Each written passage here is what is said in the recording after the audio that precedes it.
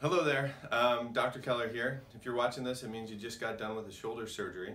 And so, first of all, I want to thank you for entrusting in me um, your arm and this injury. And uh, we'd like to bring you through and show you a few things in regards to your post-operative care. The first thing we wanted to talk about was your dressing. So this is a standard dressing that's placed on the shoulder after your surgery. Um, this is to stay on for three days. Once you have it on for three days, we can then take it off. Another thing you'll see up here is also what you're going to have in your shoulder, which is also a block that the anesthesia puts in for you. And there'll be a little bit of stuff to do with that as well. Let's start first with your shoulder dressing. So it's really quite easy. We tape on uh, some different dressings. So three days after, you go through and you take it off.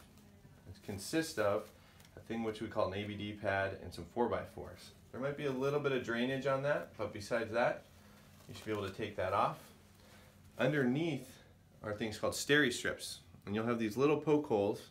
We get to do your whole surgery through these poke holes. And the goal with these are to leave these on while you shower. So now once you have your dressing off three days after your surgery, you leave your steri strips on and you can shower.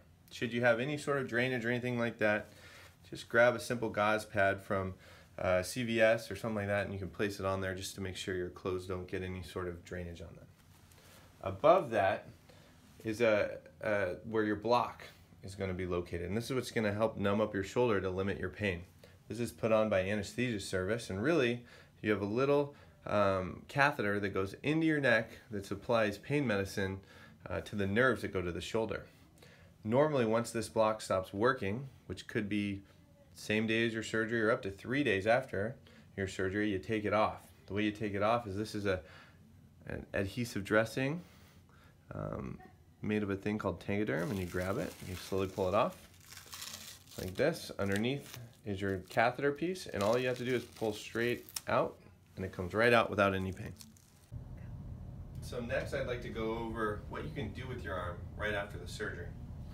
So you have your sling on and the goal is, of the sling is to protect you so you don't move in uh, different directions that can actually injure the repair that we just did.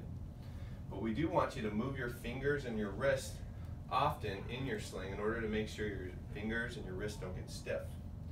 We also want you to get out of your sling for about three to four times a day in order to show some elbow motion. So you simply just need to unstrap your sling this way and slowly come out and move your elbow up and down.